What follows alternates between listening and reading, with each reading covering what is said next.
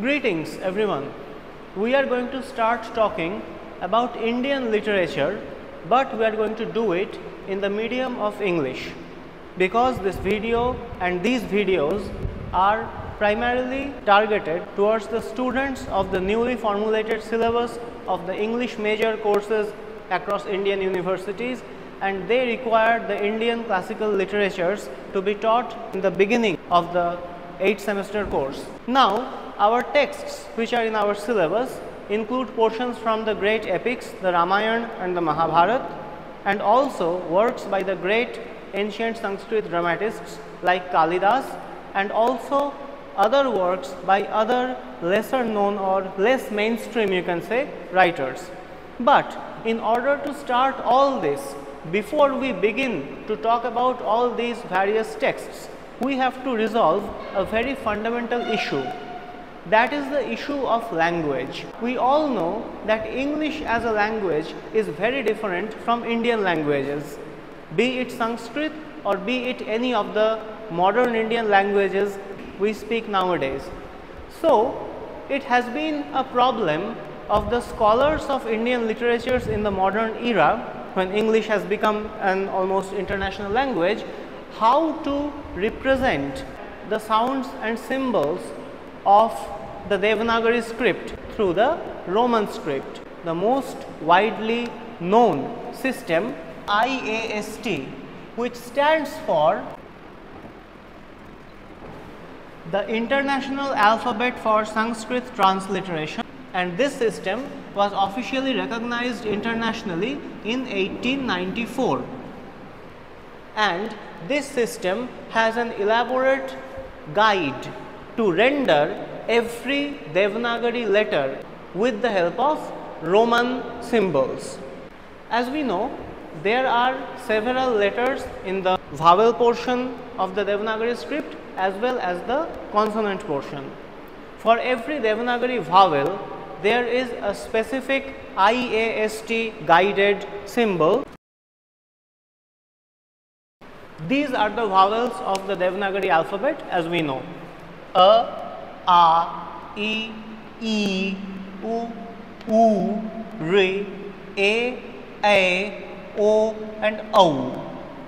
Now, according to the IAST, a, the sound a makes is to be represented by an a, a simple a. This should be read as a. Likewise, when there is an a sound, it will be represented by an A with a bar at the top, A bar. This means a, this means a. This is a, this is a.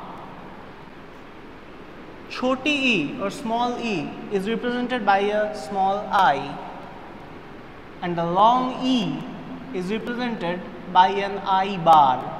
So, this is e but this is e, e, e. Likewise, the small u is represented by a small u and the long u is represented by as you would expect u bar. This is u, this is u, this is u, this is u. Re is represented by r with a dot at its bottom. This is re.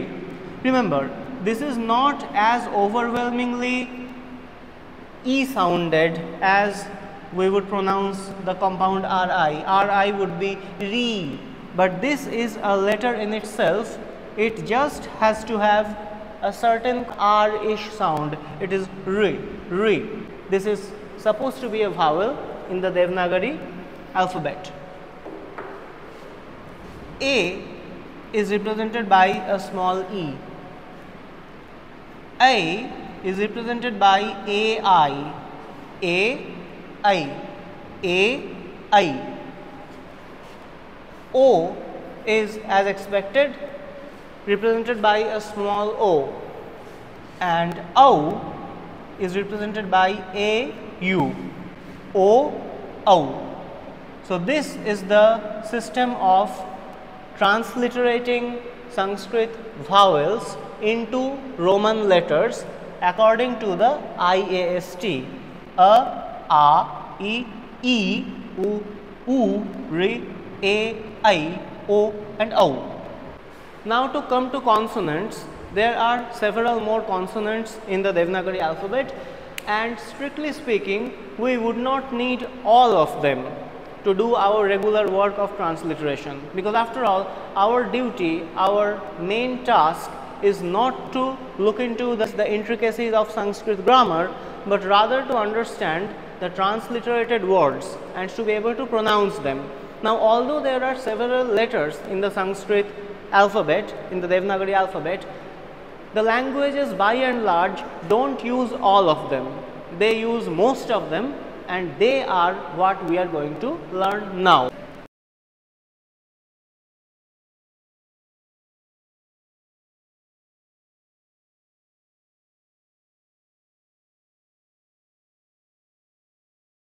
The consonants are K for K, K for KH, G for G, G for GH, Uma, Una or Nga for N with a dot at the top.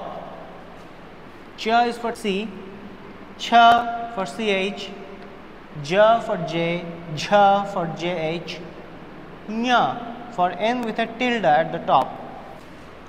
T for T dot, T for T dot followed by H, D for D dot, D for D dot H, N for N with a dot at its bottom, T for T, Th for TH, D for D, Th for DH, N for N, a simple N, P for P, P for PH, B for B, B for VH, M for M, Y for Y, R for R, L for L, W for V, Sh. This Sh comes from the back of the mouth, Sh with an S is supported by a diagonal dash at the top. Sh. This Sh comes from the palate of the mouth. What I mean is that when you pronounce this, your tongue should be obstructed at the palate of the mouth, not at the back of your mouth. So, this is sh represented by s with a dot at its bottom. A good example of this is to be found in the word Krishna, the famous god king of Indian mythology his name contains this Sh, S with a dot at its bottom. That is followed by Sa, the simple dental S, Sa, and ended by Ha, the simple H. These are the consonants. Now we have to take a few examples of uh, how to use this. The God King we can begin with. Krishna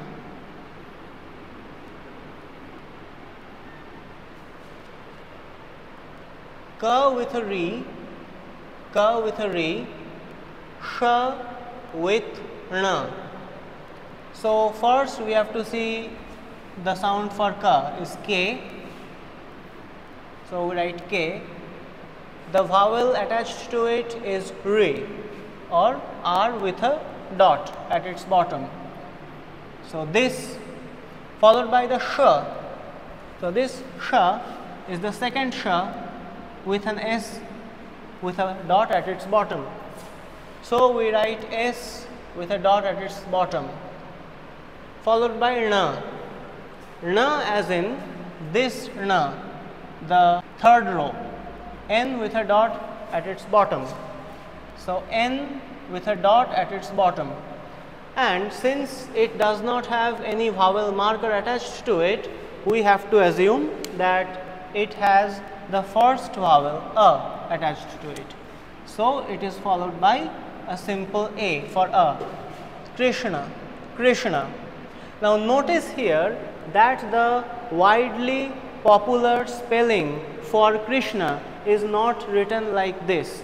It is I am sure all of you know it is written simply like this Krishna But herein is the importance of systems like IAST that if you write Krishna, it does not have any specific Devanagari marker here and people who speak in various dialects of English, you know English has hundreds of dialects all over the world. Even within India, different people speak English differently.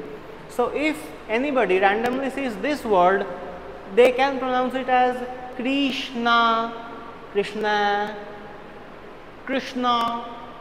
There can be many variations, but to denote the exact pronunciation that the original authors meant it to be pronounced in, we need a system like the IAST so that we can copy this sound precisely Krishna, Krishna.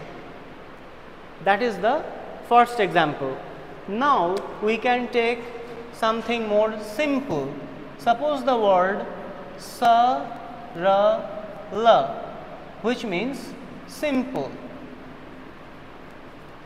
It is a plain sa, a dental sa. See this sa just an S. So, S A followed by a plain R with no vowel markers. So, the default marker R, R is R. So, R A followed by L again the simple L followed by the default vowel marker Sarala. This is to be pronounced as Sarala. Sarala means simple. Now, if you are Indian and belonging to many of its languages, you would know that this word can also be rendered feminine to be used as a name for women. There are many women named this. This is pronounced Sarala. Sara, these are same as this one, S-A-R-A, S-A-R-A. But here the la is not without any vowel marker, it has a vowel marker, it has the marker of a. Therefore, we have to put an a bar after L to render it perfectly in IAST. This is how you will see, you will understand that you should pronounce it as Sarala. This is Sarala, this is a masculine name if you want to use it as a name and this is Sarala. If you think in terms of meaning, Sarala also means simple, but it is the name of women. It is a feminine word. Sarala, Sarala. And this is a more convincing demonstration of why IAST is important. Suppose somebody randomly sees this word, he or she would not know whether to pronounce it as Sarala, Sarala, Sarala, Sarala, whatever. But if you know that this has been written according to IAST and you know about IAST, then you would point it out that the only valid pronunciation of this word is Sarala. And the only valid pronunciation of this word is Sarala. Now just to play with it, we can take meaningless words with the same consonant composition but without meaning just to demonstrate the difference this all makes just to make it a little clearer. Sarala this would be sarala. Suppose again sarala. This would be sarala. But of course these two words are meaningless they are only to demonstrate how the vowel markers change the sound of a word. Hence, this is our lesson on the IAST. I wish to include useful links regarding the IAST in the description of the video. Do check them out. Thank you.